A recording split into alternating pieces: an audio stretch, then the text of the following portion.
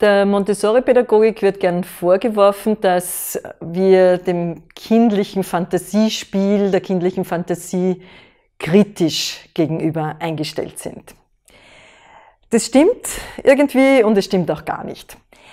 Die kindliche Fantasie ist etwas ganz, ganz Wichtiges und etwas ganz Wertvolles. Worum es in der Montessori-Pädagogik geht, ist, dass das junge Kind zunächst einmal eine reale Sicht auf die Welt aufbauen kann. Dass es in dieser Orientierungsphase, was heißt denn Leben überhaupt? Was heißt Familie? Was heißt Freunde? Was heißt einkaufen gehen? Was heißt äh, baden? Was heißt wohnen? All das.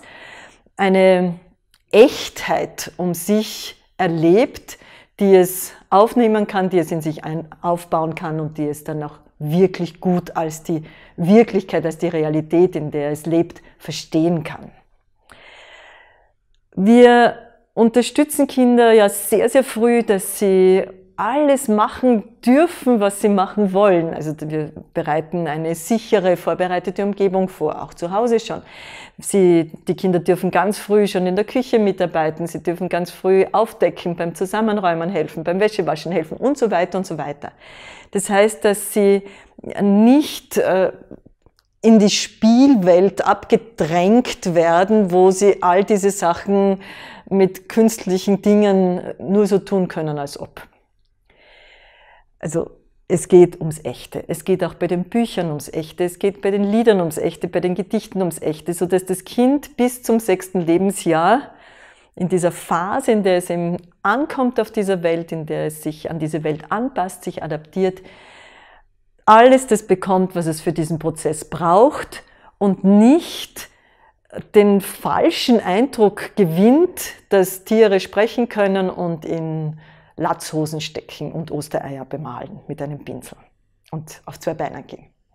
Also das ist eigentlich der Hintergrund. Dass der Mensch Fantasie hat, Vorstellungskraft hat, Imaginationsfähigkeit hat, ist eine ganz, ganz wichtige Eigenschaft. Und je nach Altersgruppe, je nachdem wie alt das Kind ist, unterstützen wir diese Vorstellungskraft, diese Imaginationsfähigkeit auch sehr, sehr stark.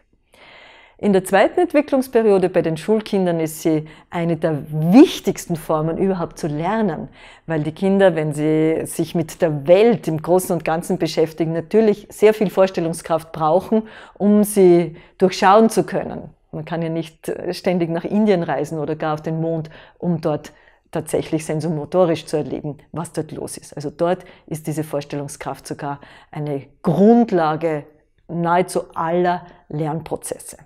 Also Montessori hat nichts gegen Fantasie, nichts gegen Vorstellungskraft. Wir schauen aber ganz genau phasenspezifisch auf die Entwicklung hin.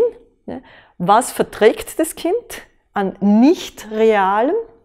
Was verträgt zum Beispiel die magische Phase, ohne dass die Kinder Ängste bekommen, Sorgen bekommen oder eine völlig falsche Sicht auf die Welt entwickeln und was verträgt sie eben nicht und das lassen wir weg.